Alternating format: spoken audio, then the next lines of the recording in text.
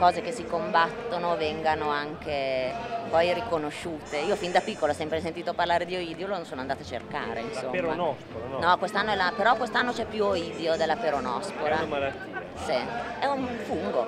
All'inizio di luglio si presenta in un modo, poi mano a mano diventa sempre più... Si sviluppa insomma, si riproduce.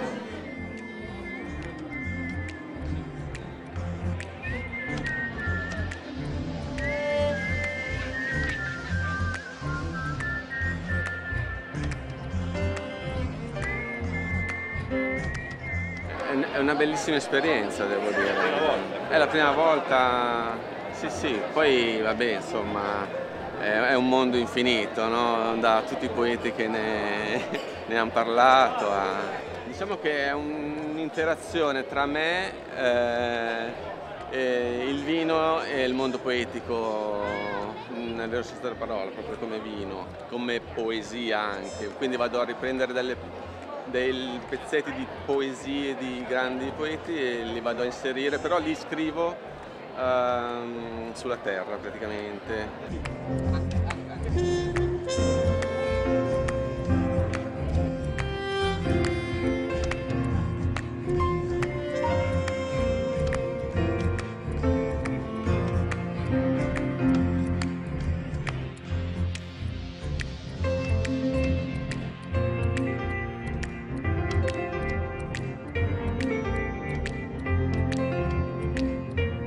Piccola sintesi, un omaggio al, al mito classico greco, anche perché io vengo da sud, quindi questo incontro tra sud e nord a me piace, mi, mi, mi entusiasma. Poi con il vino è interessante questo. In realtà è un ritratto tra Dioniso, e Bacco e Priapo.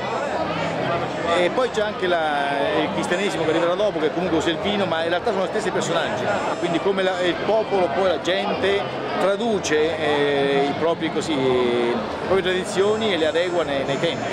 Il vino è usato sia per mischiare la colla sia in una colata finale, perché c'è questa, questa grande... è un po' come succede in un paesino vicino Roma, credo, che non so in che periodo, però so che in autunno eh, mettono nelle fontane, proprio applicano il vino, quindi esce dalla fontana il vino. Succede questo anche a Siena. Potrebbe ricomporre anche qua. Questa è una cosa molto interessante, cioè praticamente viene far uscire nella, nella, fontana centrale il vino e quindi vengono anche Perché si macchia la tovaglia? Ah, si macchia la tovaglia perché eh, ormai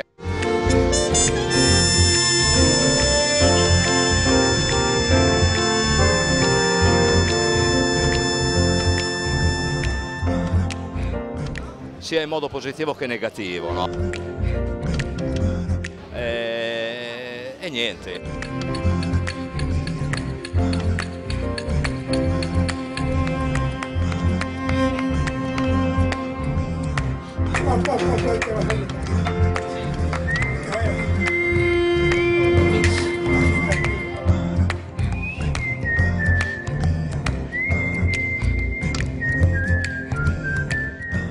Poi cos'è? Il fischio è un solo? Il fischio, voce e...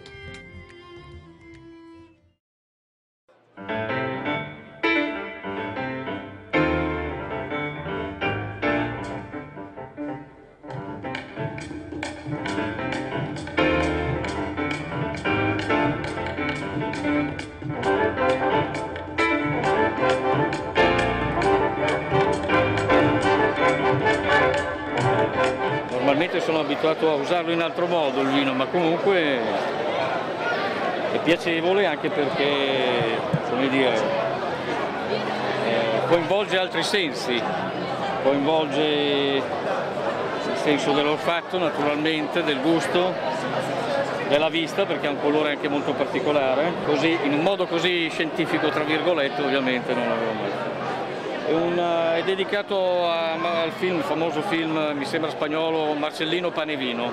Ho saputo poi, tra parentesi, proprio stasera che un'altra delle, chiamiamole, specialità di Stradella è il pane.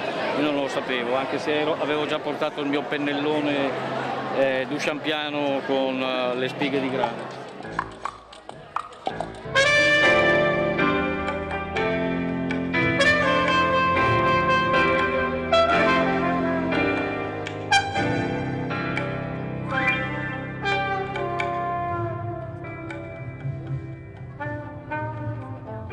Questo si chiama Why Not Shots, intanto perché io lavoro con gli shots, con gli spari di solito.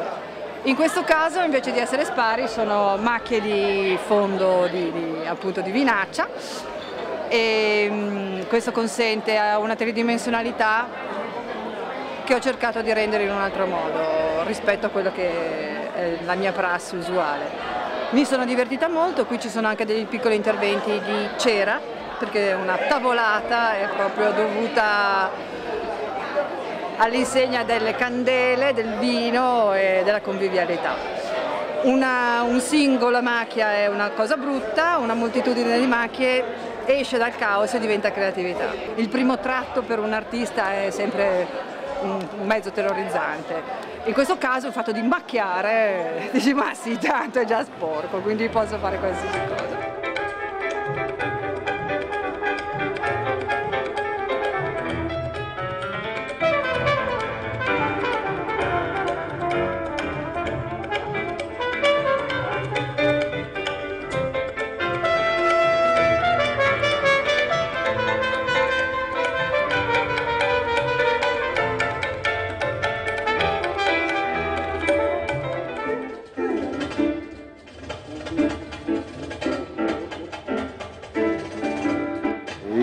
Sono partito col, col divincere, disegnare un vulcano che piano piano è diventato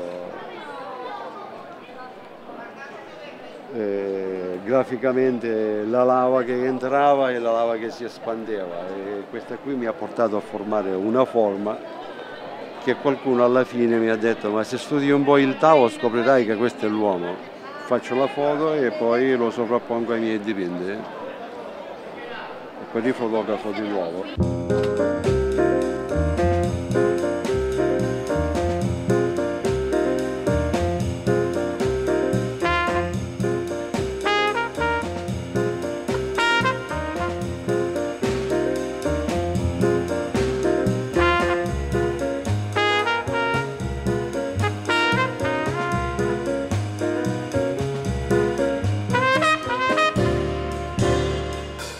L'uomo Goga, colui che scavalca le mura dei cimiteri di notte per mangiare le ossa dei nostri poveri morti. Al che, al che la gente no, insomma, eh, si incazzava subito perché eh, questa, questa, immagine di questo che scavalca le mura per mangiare le ossa dei nostri poveri morti. E allora tu dici, bastardo, delinquente. Allora praticamente chi lo presentava per gettare un po' benzina sul fuoco, per allarmare ancora un po' di più, diceva sempre Tenendre idoni fiulen Comunque, allora la storia dice che eh, questo, questo, questo personaggio, questo strano animale, è stato catturato nelle foreste del Borneo dal famosissimo esploratore Jack B. Livingstone. Ecco, una volta catturato, dal momento che appunto normalmente l'uomo Goga era abituato a cibarsi delle ossa dei nostri poveri morti, il primo problema fu proprio quello di, insomma, di, di dargli da mangiare. Ho dei problemi con le orecchie. Vabbè, quello di dargli da mangiare, di alimentarlo. Allora niente, pare che, state a bene attenti, eh, pare che gli diedero pasta al forno e la rifiutò. Gli diedero cotolette alla milanese e le rigettò. Dopo svariati tentativi, gli diedero carne marcia, putrefatta, maleodorante, una schifezza e la divorò avidamente. Questa è un po' la storia di questo personaggio dell'uomo Goga. Io vorrei finire, così finiamo, se. C'è ancora una parte molto interessante che è il quesito, la domanda che Jack B. Livingstone fece all'uomo Goga sempre per, per questo tipo di per problemi di alimentazione, insomma. Allora, ascoltatemi bene, non dite niente adesso, cioè chissà taccia. Al mio 3 daremo la risposta tutti assieme a questo famosissimo quesito. Comunque il quesito era molto semplice ed era questo. Goga, te piacere mangerie italiane? Uno, due, tre. Carabina, cara fis, fis caramane. Grazie, ciao a tutti.